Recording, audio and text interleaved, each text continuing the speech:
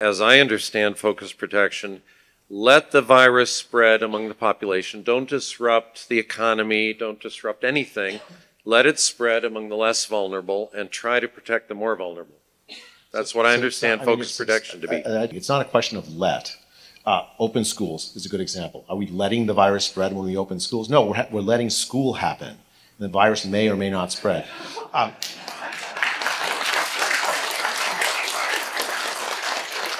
focus protection are, are policies that are cognizant of who's a high risk and moving resources, ingenuity, and creativity to protect those populations. Anything that does that is focus protection.